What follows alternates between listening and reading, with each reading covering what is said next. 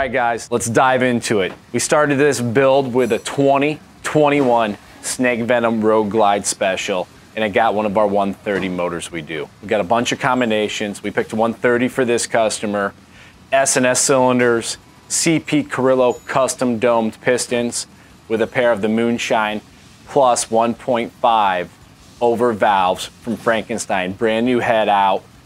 It's 155 upwards of horsepower. We dive into the details of this bike, we pull out the whole case, we split the motor down.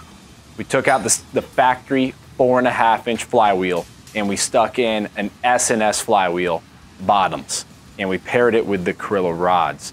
Here's a link right here to the video. Click it, it's on the screen. That will show you our comparison of several of the different flywheels we run. All right, we stuck that guy in this bike with the Carrillo rods and it got our heads. When we do the Frankenstein heads on the smaller valves, it's still the round port. You guys have probably seen a couple videos we've done maybe on our live stream. There's more to come on the new Frankenstein heads. We're excited about them. Brand new big intake manifold that's been produced and we'll roll out the intake manifold into different combination of these heads as we grow. On this setup, we're running a Stealth air cleaner from S&S. We like them, they run very good. This has the plus one over element in there, which is an option from S&S. It'll flow all the air you need. We get really, really good results. And we love the carbon fiber teardrop cover. If you notice on this guy, the ring is powder coated black. That is custom. That's something we do for our customers on our builds when we do it. S&S only offers it in bare aluminum really, really trick setup on an all blacked out special or any all blacked out Harley Davidson.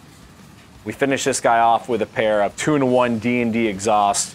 The D&D hits good, it's torquey, it looks good, it sounds good. On this guy, we got the big bore baffle. Now let's talk about the rear suspension on this guy. These are a pair of Öhlins 13 inch shock. They are the HD 159s.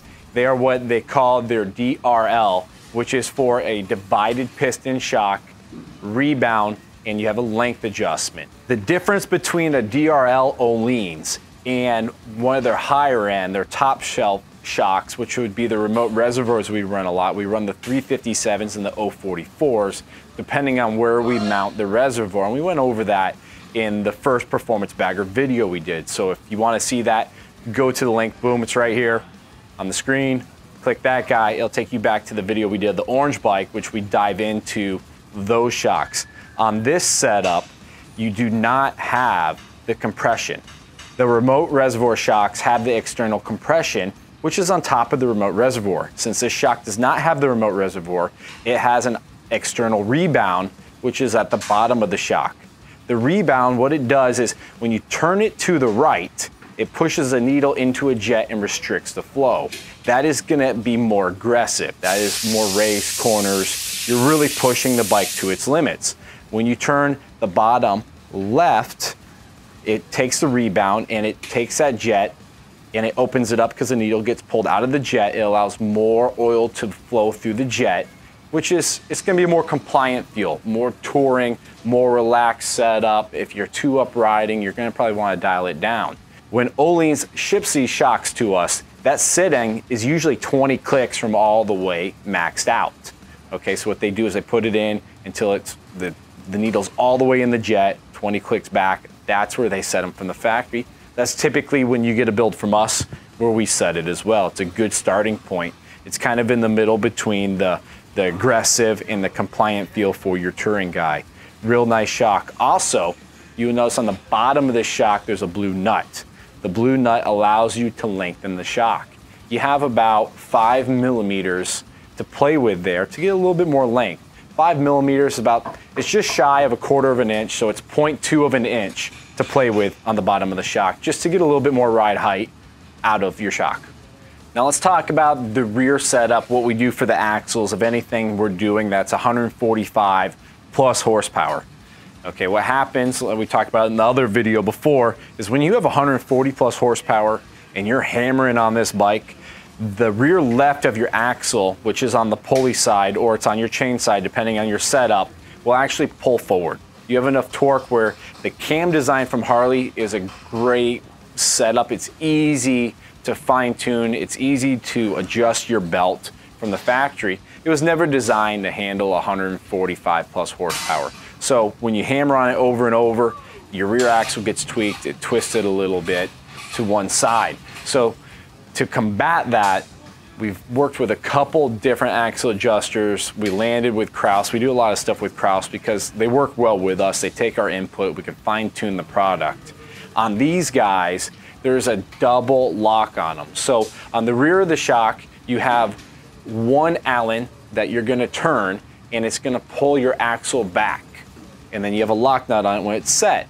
But if you notice on the bottom, right below your axle, there's ticks, all right? So what do we have here? Three, four, five, six, seven, eight, there's 10 clicks on it. So line that side up, line your other side up, count them, make sure it's square. You're good to go on your rear axle. Then you lock down the nut on the back. After you do that, you come around to the front side. You're gonna push in the front lock. You're gonna snug that guy up with the Allen, and then you're gonna lock down the front nut. And that's just gonna make sure there's no movement in there. It holds it real tight. If you just lock the back and not the front, you could have a little movement up and down in there. This secures it. Just make sure everything's good because this axle adjuster is aluminum. The axle supplied from Kraus in their Vector 1 axle adjuster axle kit is a hollow axle. It's really nice. It's a double nut setup on it, so you do have to torque both sides of it. We torque them, and then we torque them again to make sure everything's good. And of course, you have a C-clip for safety on your rear end, make sure nothing goes wrong there. Really nice looking setup. Another advantage over this axle adjuster is from some of the other ones we've dealt with and other ones available in the market is the axle adjuster is actually locked into the rear shock mount. So when you buy this and install it, there is a spacer kit. You are spacing out your shocks a little bit, but it locks in the rear axle adjuster so there's no movement on that guy. It's important. It's, it's nice, it's easy, it's a very clean setup. Highly recommended for you guys. Now, if we move to the rear of this bike, you can see hung underneath this, if we can look at it underneath the exhaust here, we have a Beringer Aerotec radial caliper. It's a four piston brake caliper. It's mounted on a cross radial rear brake mount and it has ARP hardware holding it all together. Tucked up underneath there is a non-floating oversized rotor. It's a 300 millimeter rear rotor and it's robust. We don't like the floats on the rear rotors for guys running these on the streets, putting miles on them, because we've noticed a lot of people like rear brake. If you grab just rear brake, especially with a four piston caliper on your rear, you need a robust rotor because you're stopping 900 pounds, maybe 1,000 pounds. If you have riders on there, it could be 1,400 pounds of, of bike with just one rotor. So that rotor needs to be robust. That's why we stay away from the full floating rotors in the rear. This rotor's thicker, it's tough, it's beefy, it can handle it. That's why we do these on our setups. Now we've gone over this before, but the radial brakes add fluid to your caliper. Also the way they're mounted to the bracketry, there's less flex in the mounting compared to an axial style that comes from the factory on a Harley. The radial brakes are pretty much on any competition motorcycle you see it out there in the sport bike world. They come standard on all the big bag sport bikes. We put them on here. Welcome to Performance Baggers. Here's your brakes. On the front of this setup, what we have here is a four piston radial mounted Beringer Aerotec. It's the exact same caliper we talked about in the rear. The only difference is it has a little bit different mounting. The bolts are longer, they're spaced out more because these are 320 millimeter oversized rotors we run in the front. And the reason we like to run these rotors is the blade, which is the stainless steel part, that's called the blade of the rotor. And then the black part, which is the inner that bolts to the wheel, is the carrier of the rotor. Those are connected with the circles that we call bobbins, all right? On this exact rotor setup, you see six bobbins on it. You might not be able to see them all, but there's six of them. This rotor, between the inner part and the outer part, so between your friction blade and your carrier, there's flats there right above your bobbin where when you hit your brakes, and you grab that blade and push it backwards, it hits six flat spots on the carrier. And what that does is that takes the load in between the two pieces instead of the load being on the bobbins. We've seen other brake manufacturers that the load is on the bobbins, and what happens is the inner part of the carrier gets worn because it's it's not flat. It's not two flat surfaces hitting. It's a round surface on a round surface, and what it does is it rounds that top corner off of the inner carrier, and as you get mileage on your rotor, it gets looser and looser and looser. Now, all rotors that are connected just with the bobbins that don't have the stops, like this brake design is designed, um, don't always wear that way. Some of the other manufacturers have put more bobbins than six in there. Some of them have 10, some of them 12. Now 12 bobbins are gonna hold the carrier and the blade a lot better than if you had a rotor with six. These ones are lighter because we have less bobbins. There's less mass here. And what we wanna do on rotating mass is we wanna reduce it. That's part of performance bagger. So lots of options out there.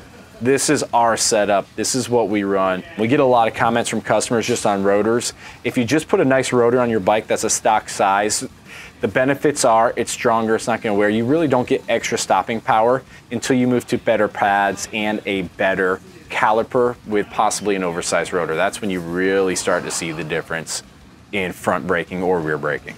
To dive deeper into this Öhlins inverted fork from Kraus, it's real similar to what we talked about on the previous videos of your performance bagger starter setup or starter kit. We had the GP suspension.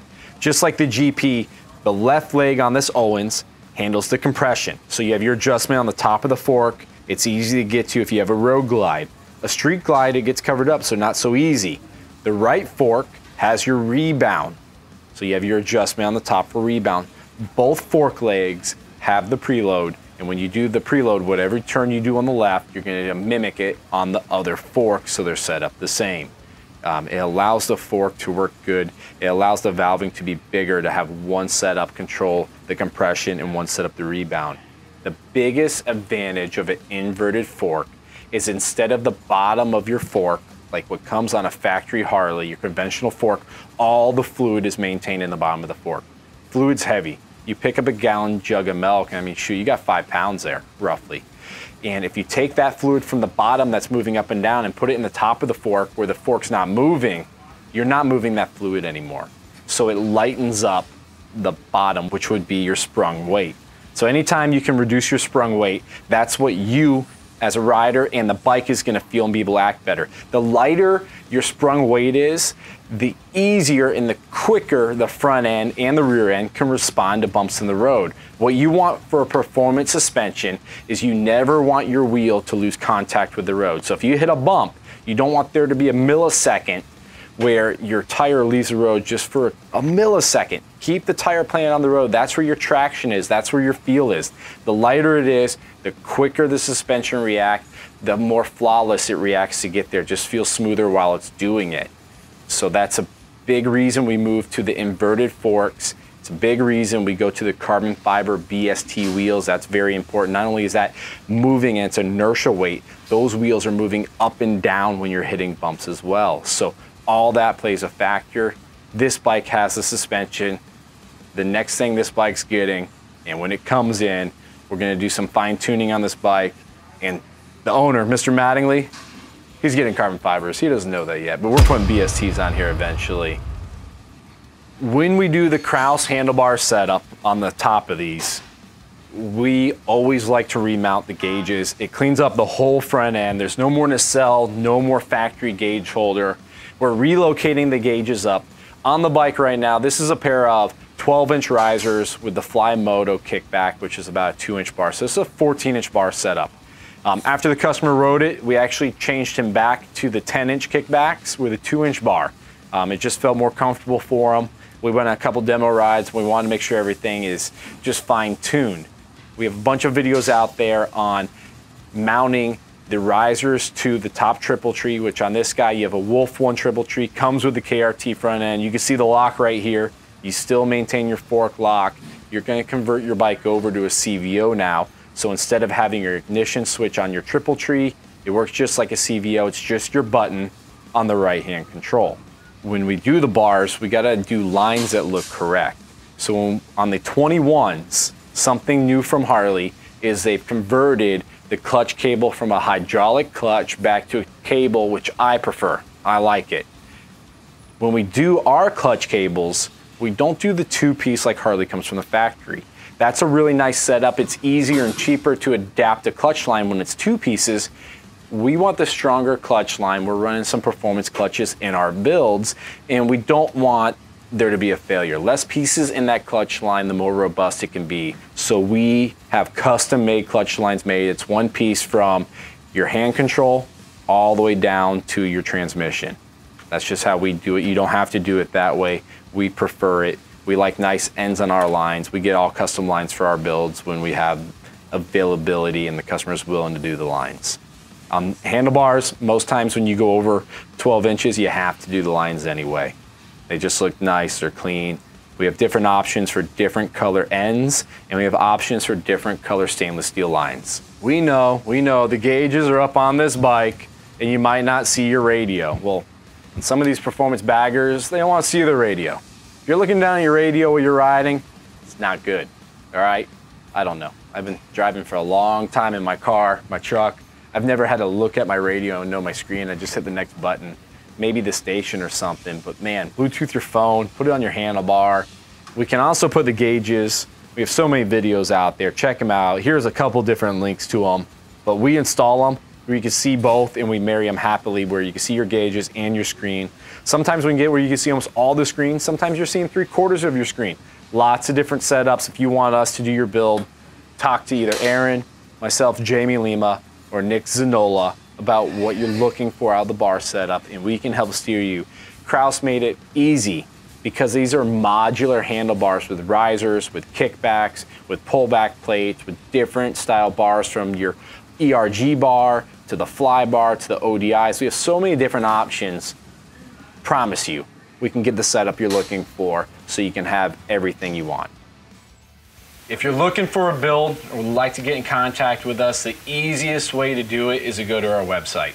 Type in moonshineharley.com. Once again, moonshineharley.com. Go to our homepage. On the homepage, there's tabs at the top of the screen. The one in the middle says Performance Shop. When you highlight Performance Shop, a drop down will pop up. Click on the Moonshine Horsepower button. Basically, what we need to know is how to contact you. You need to fill out your name, your phone number, and then the bike. The more info you put on here, the more prepared we are when we call you. Your current engine, current parts on the bike, because we want to know what we can continue to use in the build you're looking for, or if you need everything. Um, what parts are going to be friendly to the build you're looking for. And then building goals, what are you looking for? What do you want us to accomplish with your bike? Put it in there. Also put the time frame, first available, you're three, four months out. Let us know how quickly you would like us to get to your build and then hit that submit button, someone from our horsepower team will call you back. So it'll either be Aaron, Nick, myself, Jamie, or maybe MVO, Michael Van Orden. One of us four will call you back. Our schedule is Tuesday through Saturday. All the horsepower guys, Tuesday through Saturday. The shop is open seven days a week. And typically, when you fill one of these out, it can be anywhere from 30 minutes to 48 hours to get back in contact with you. But we will. We appreciate the support please, if you haven't already, go to the subscribe button, click that guy. Also, you might want to click on the bell for notifications. Lets you know when we have a live event coming up on YouTube. Also lets you know when we're about to drop a brand new video. We appreciate you guys watching. Thanks for all the support. Have a good one. All the performance, performance, performance, performance, performance, all, all, all, performance, all of it. Baggers, baggers, fast baggers, fast baggers. Slow baggers suck, suck, suck, suck, suck.